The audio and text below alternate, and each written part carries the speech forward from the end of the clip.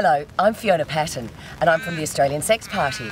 And we love our dogs. In fact, we love all animals. And I want to tell you about our animal policy.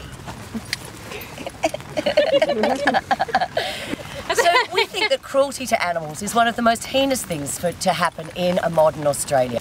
So we are introducing an animal cruelty register.